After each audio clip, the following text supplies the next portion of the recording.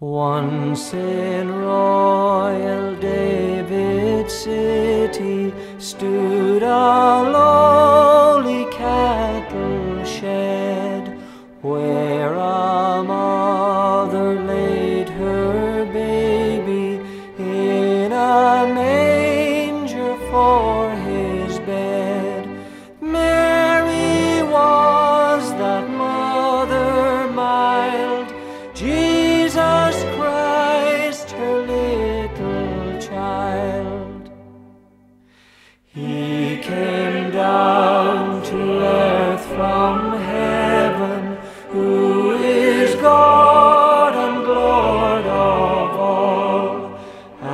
his shelter was a stable,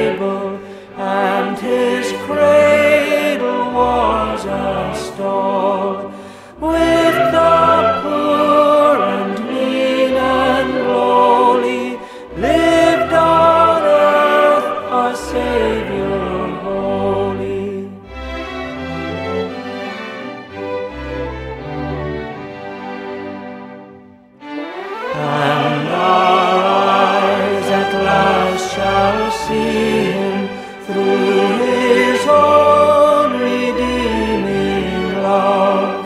For that child so dear and gentle is our Lord.